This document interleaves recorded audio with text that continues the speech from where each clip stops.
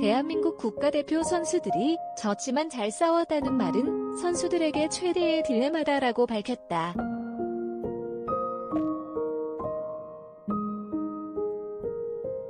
10일 방송된 SBS 예능 서클 하우스에서는 2022 베이징 동계올림픽 국가대표 선수들과 무한 경쟁 사회를 주제로 이야기를 나눴다.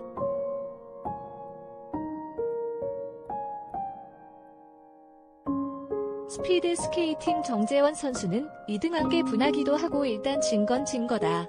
물론 과정도 중요하지만 선수 입장에서는 이번에 놓치면 4년을 기다려야 해서 결과가 좀 더 중요한 것 같다고 솔직한 생각을 밝혔다.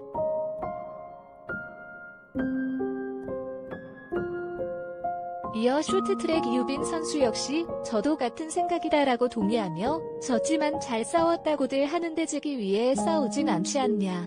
메달은 저 스스로에게 주는 보상 심리와도 같다. 이 시합을 위해 어떤 고통을 참아냈고 노력을 했는지 메달을 가져와야 느껴진다고 밝혔다.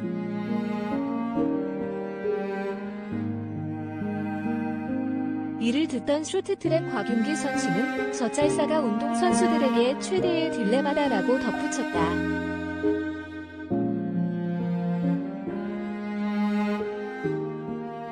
이에 오영 박사는 국민들이 모든 결과에 대한 부담을 선수 탓하는 경향이 있다며 나가서 최선을 다해준 것만으로도 국민에게 모든 걸 해준 거다고 말했다. 이어 선수들뿐만 아니라 사회를 살아가는 모든 이들에게 이런 고민이 있을 것 같다. 눈 떠서 잘 때까지 경쟁 사회에 있다 보니라고 덧붙였다.